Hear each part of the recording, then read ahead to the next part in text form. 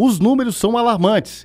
Cada vez mais crescentes os casos de dengue em Linhares. A cidade tem apresentado uma situação preocupante. Dois bairros têm recebido uma atenção maior da Secretaria de Saúde do município.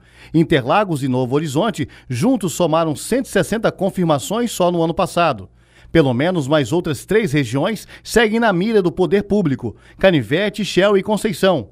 Nos dados oficiais, uma crescente de cerca de 350%, saltando de pouco mais de 900 para 3.112 notificações da doença, chegando a um total de 510 confirmações.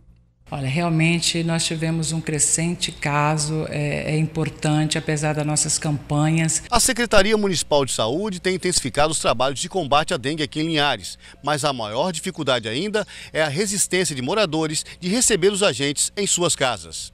Moradores do bairro Interlagos, o maior do município de Linhares, disseram que têm seguido as orientações de limpeza de seus quintais, mas alegam que não têm recebido a visita dos agentes de combate ao mosquito. E quase não passa, né? A gente, pelo menos aqui na minha rua, quase não vejo a gente passando. Com frequência, eu não tenho visto muito não.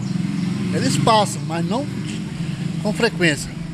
Eu tenho dois meses que eu estou aqui, aqui na minha casa, ali, de repouso, e não tenho visto nenhum agente passar lá na minha casa. Eles acreditam que é importante ter a presença dos agentes, pois mantêm em alerta os moradores, assim como a fiscalização em dia na destruição das larvas e ovos. E graças a Deus a gente nunca pegou larva, igual eles falam, né? Que tem muitas casas por aí que eles pegam, né?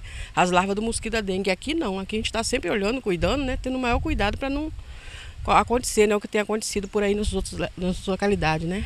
A secretária de Saúde de Linhares acrescentou que os trabalhos estão sendo feitos, tanto com o carro fumacê e também com as visitas às residências. Consciência todo mundo tem do que está acontecendo. Então a gente tem um trabalho de informação, vai nas casas, informa é, a, a, a, dona de casa é, que é necessário fazer aquele trabalho formiguinha dentro da sua própria casa é, olhar uma geladeira, atrás da geladeira tem um depósito que ela pode estar colocando água sanitária, né?